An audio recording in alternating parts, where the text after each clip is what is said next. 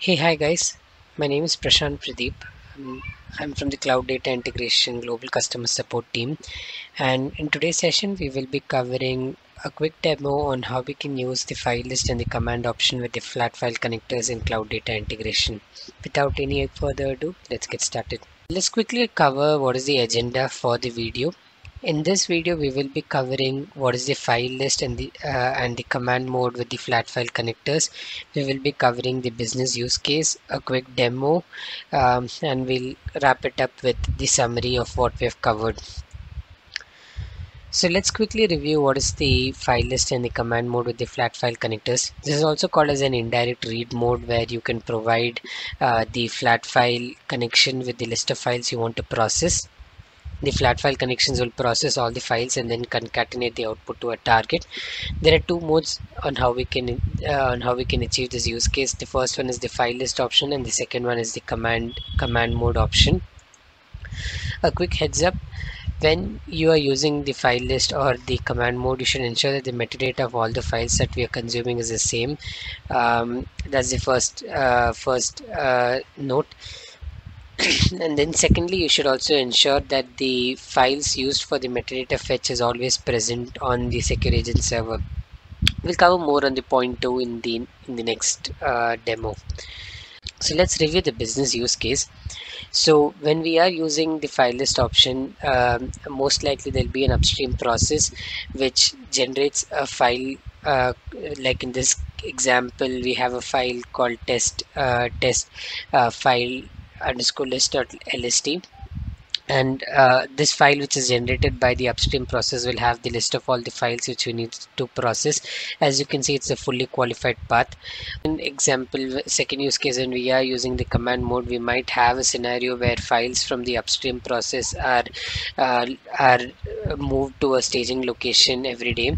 And uh, and this this staging location has files in a certain pattern we need to process the files in the staging location and once processed we need to move the files to another location called process or delete those files. As as in this case you can see I've created two two scripts. One is consume files.sh and the one other one is post processing script.sh in the consumes file.sh I'm basically listing out all the files uh, which has the pattern test star and once the files uh, once I get the list of files uh, which I need to process I process the files and then after the processing is done I move all the processed files uh, which has a pattern test star to another to another location called processed. So let's quickly get started with the demo. Uh, in the first demo we will be covering the file list uh, we will be covering the file list mode okay so in the first use case we are going to cover the file list mode demo. So let's quickly review this demo. So I've, I've created a simple mapping with source and target uh, file.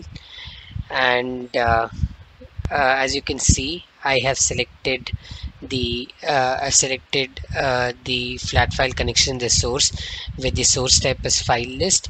And I have provided uh, I have selected uh, a file called test underscore file underscore list dot lst this is an indirect file. Let's quickly review what are the contents of this file. Let's quickly review what are the contents of this file. So as you can see I have the file uh, test underscore file underscore list.lst when I do a cat on this file I have the following I have the following contents. The uh, this con this file contains the entire um, the entire path and uh, followed by the file name which we want to process. So uh, when when we're using the file list option the first file in the file list is always used for the metadata fetch. So when I say metadata fetch uh, what that means is the uh, the incoming fields are always fetched from the first file in the file list uh, in the file list file. So uh, let's quickly run this. Uh, and my target I've selected a flat file connection. I've selected a flat file connection with create new at runtime. Let's quickly run this job and see the output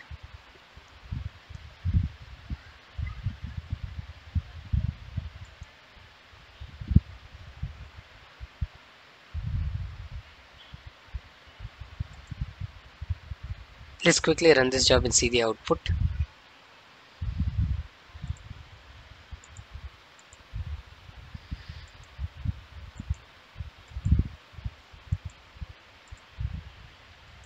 So you can see the job is running and it's completed its execution. Let's quickly review uh, what just happened. So uh, as you can see the files. In the first file I just have the metadata. The second file have the contents and you can see that the metadata of all the files are the same. Okay? And let's review the target file.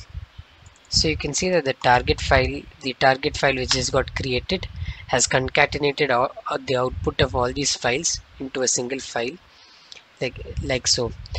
And hence it's very simple to use the file list option as an indirect read mode when you want to concatenate uh, concatenate a list of files from a file list into a target and uh, that's a quick demo on the file list option now let's quickly cover a demo on the command mode. Now let's quickly cover the demo on the command mode. Um, so the command mode is the command mode is a lot similar to the file list option. So in the command mode, we select the source type as command. And we uh, so in the case of the file list option the incoming fields are fetched from the first file in the uh, in the file list. But in case of the command mode we need to select a we need to select a sample object which has the metadata which we're going to consume. So I've selected the file test underscore metadata which has the which has the metadata which I want to consume. And now let's quickly review the script which I've written. So here you can see in the command I've provided a path to a shell script. So in case your agent is a Windows agent you'll be providing the path to a Windows agent server. Uh, you'll be providing a path to the bash script in the secure agent server so this is my script. It's a very simple script which lists the files of type pattern test star. So let's quickly execute this script. So you can see that when I execute the script I get all the files. Um, I get all the file names which I, I need to process. Okay.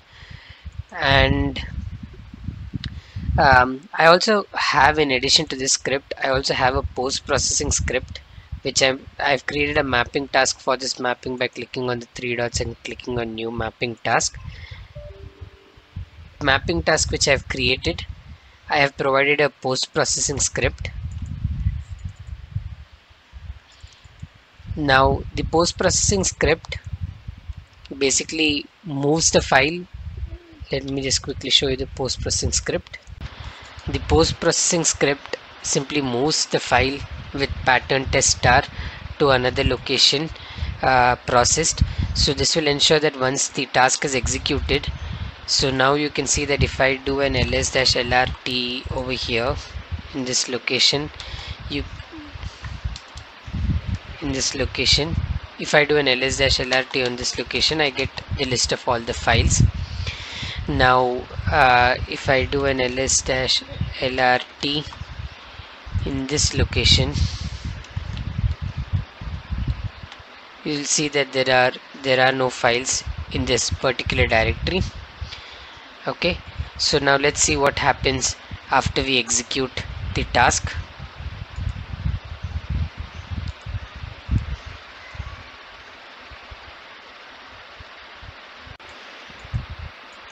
okay the task is completed successfully. Now if I do an ls-lrt with pattern star you can see that the test star there is no files. I'm gonna do that again. If now if you see that if I give the command ls-lrt test star you see that there are no files and all the files have been moved to the processed location which confirms that all the data of this has been processed similarly if we also view the output file of ours you'll see that the output file now contains the concatenated output of all the files we just processed. I hope you found this session helpful. You can refer to the documentation link which I've provided uh, which further explains the details what we have covered in this video tutorial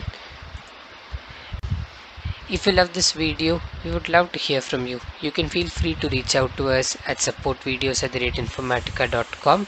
or you can also reach out to us in in twitter by tagging us at infosupport thank you so much. Have a great day.